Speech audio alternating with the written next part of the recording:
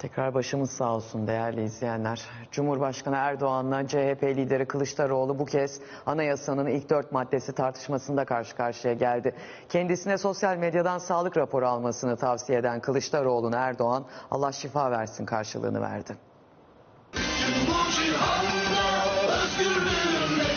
Kılıçdaroğlu çok alınmış. Görüntülerdeki kişinin kendisi değil de ben olduğunu zannederek bir sağlık kuruluşundan rapor almam gerektiğini söylemiş. Anayasanın ilk dört maddesi polemiğinde tansiyon daha da yükseldi. CHP liderinin sosyal medya paylaşımına Cumhurbaşkanı aynı tondan karşılık verdi. Aramızda doktor arkadaşlar varsa bu ruh halinin acilen müdahale edilmesi gereken vahim bir durum olduğu da ortadadır.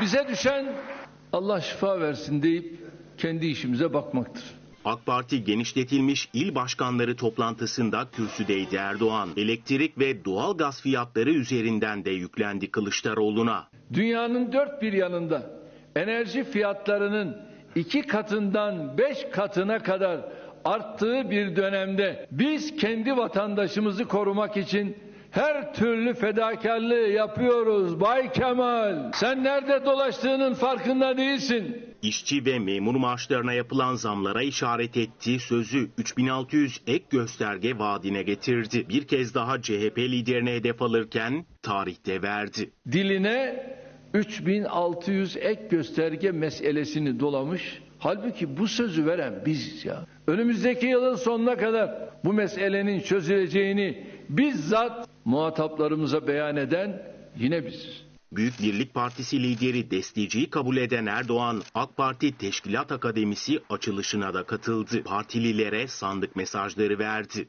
İnşallah 2023'te yeniden sorumluluk üstlenmeyi de bunlara rağmen başaracağız.